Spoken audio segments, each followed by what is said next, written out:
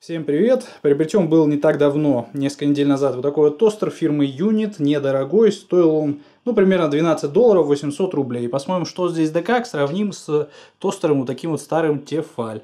Этот тостер, я бы сказал, чуть пониже классом.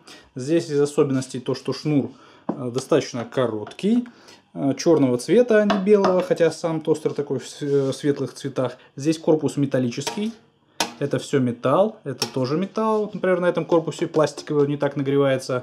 Это может быть минус металлического тостера. Ну, также металлический тостер дольше прослужит. Здесь из регулировок ручка такая вот достаточно расхлябанная. Несколько кнопок, отмена, чтобы вырубить при работе, подогрев, то есть чтобы просто подогреть тост, и разморозка. Эти все функции я продемонстрирую, как они работают. Э, особо ими не приходится пользоваться, но функция подогрева рехит работает нормально. То есть, чтобы тост, который выскочил 10-15 минут назад, чуть подогреть, э, включаете, нажимаете эту кнопку, все работает. А, здесь уже им пользовались несколько недель, какие-то крошки внутри. Поддон имеется для сбора крошек. Раз. Извлекаем. Естественно, какие-то крошки еще тут завалялись везде. Но это вот как выглядит тостер, которым пользовались долго. Он весь внутри такой засранный, хотя я его немножко уже почистил. Тут сразу на что можно обратить внимание? Размеры тостера. Этот тостер весьма массивный. А, из плюсов массивности можно отметить то, что стенки в теории меньше нагреваются, чем у тостеров более компактных. А, цвет коричневато-кремово-желтый. Вот белый тостер. Вот желтый. Может быть, не каждой кухне подойдет желтый тостер брать не стоит. Ну, был выбор тостер на дачу в пределах тысячи, и это мне показалось самым адекватным вариантом. В принципе, черный э, шнур питания вполне оправдан, потому что здесь нижняя часть тостера сама черная. И вот тут можно видеть вот с этой ножкой косяк, она очень глубоко вдавлена. Я подумал, логично будет тестировать. Поставим один хлеб для тостов, вот такой вот очень мягкий, нежный. И один вот такой вот, это хлеб называется столичный. И хлеб тостовый. Ставим 3 минутки. Вот на троечку. Это чудо-реле. Звук есть небольшой, когда крутим. Вот он люфт ручки. Ставим на тройку. Хоп. Закрыли. Э, вот насколько погружаются хлебцы. В принципе, высоты вполне хватает. То есть этот стоял вертикально, вот оно постепенно нагревается. Может быть, даже для такого белого хлеба трешка это будет многовато. Э, но я потом еще поставлю на 2 минуты для теста. И еще, кстати, мы измерим, ровно 2 минуты проходит, или ровно 3, или это вообще ерунда. Оп, выскочили, конечно, вылетают с шумом. Да, для этих 3 минуты это оптимально и достаточно. Все, нужно их вот так вот поставить, пусть чуть-чуть постоят. И, соответственно, а, можно намазать маслом через минутку. Так, а для вот такого хлеба недостаточно, это явно. Но все равно, если оно сейчас постоит пару минут, он приобретет такие свойства небольшой корочки. Смотрим на температуру. 40-50 градусов здесь, 52, 53 где-то, 59 самой теплой точки. Внизу 35 особо не греется. На блестящих поверхностях такой прибор плохо меряет. 32, 48, 60. Ну да, пальцем так и чувствуется. Где где-то 60, 65, вот в этой области. Вот у меня товарищ сказал, что тостер, например, не нужен, потому что э, ну, дома можно в духовке подогреть хлеб, если это вдруг нужно. А там на даче на сковородке поджарить. Но на самом деле тостер это очень удобно, он именно обжаривает классно. И главное без запар. Просто пихнул туда, щелк, все готово. И можно уже кушать.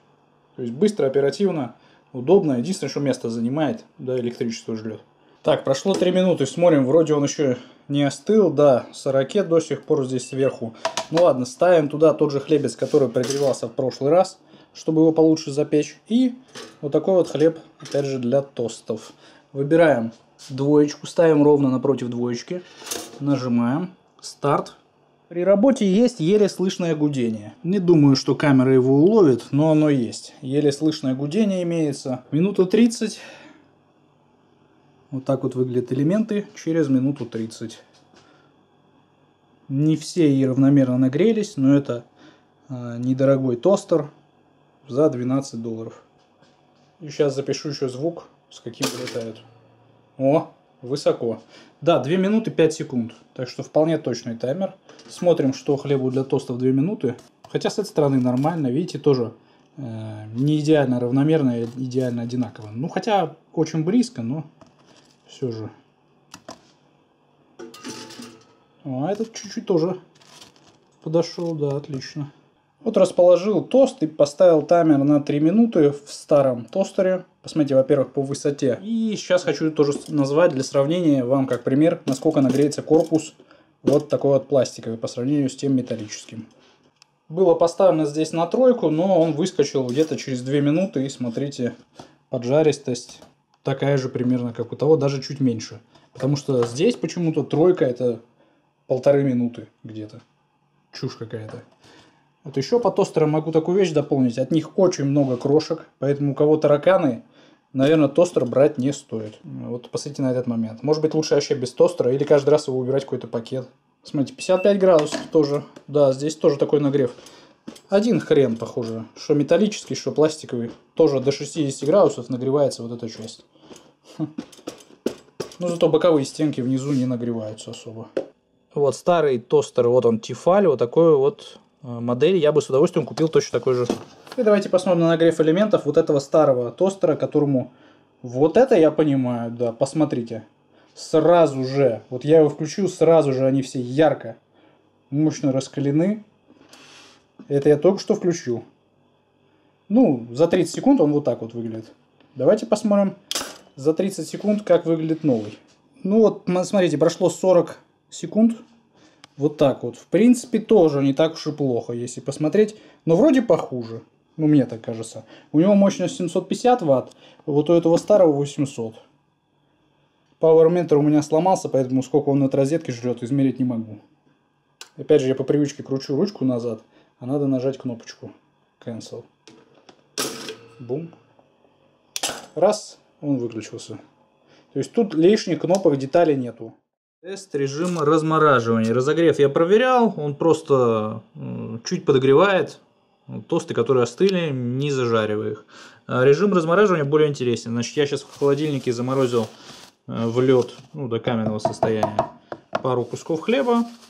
А, и здесь сначала, значит, происходит размораживание, а затем поджаривание. Поэтому это все будет достаточно долго. Э, ну, поехали. Хочу, чтобы они на четверочку были. Нажимаю.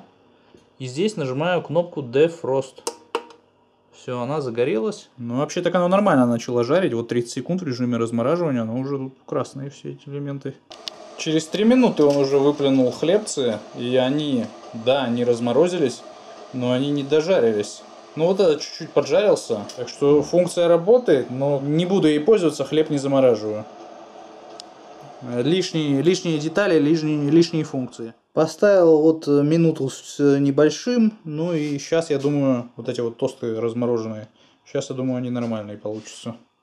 Минута 30 прошла, сейчас должны выскочить.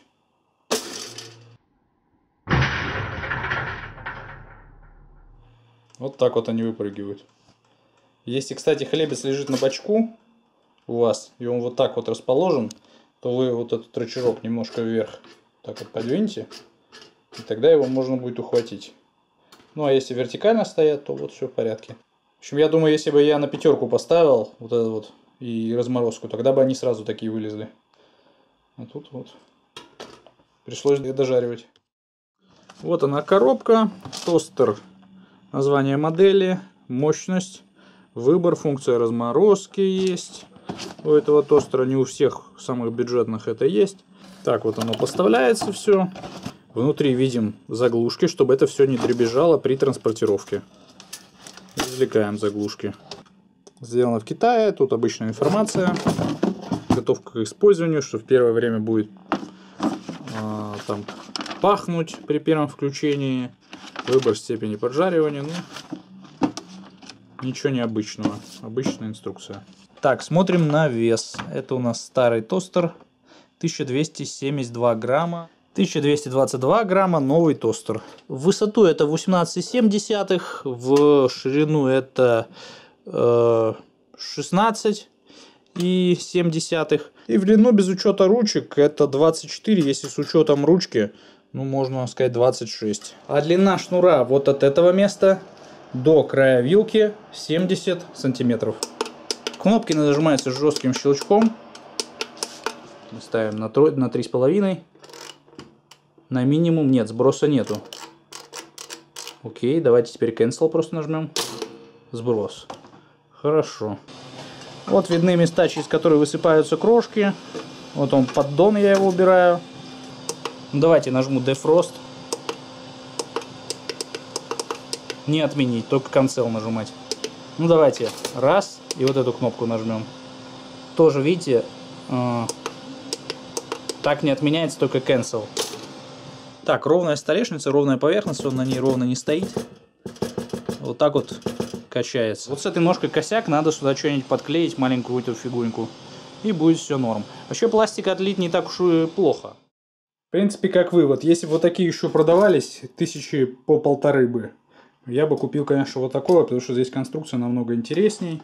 Эта функция тоже актуальна. Как-то я положил, тосты поставил сюда, эту поднял, сюда сосисочку поставил, чуть подогреться. Э, все ручки намного надежнее вот у этого тостера сделанный. Корпус меньше по размеру, корпус не греется. Вот это все сделано надежно, четко, хорошо крутится. Данная деталь ничего не болтается. Этот тостер неустойчивый, потому что с одной из ножек косяк. Вот эти все штуки, они будут с большим трудом оттираться, да, чем вот эти вот спирали. Это тоже очень важный момент.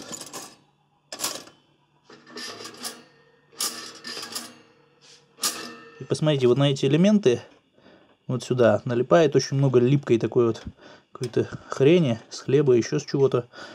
А, ну, здесь хлеб без масла, естественно, жарится. Просто как-то частицы хлеба здесь налипают, становятся такими жирными, маслянистыми. Я представляю, как на тех лапках, на том тостере это будет скапливаться дико. Как сломается, допишу об этом в описании видоса, в закрепленном комменте.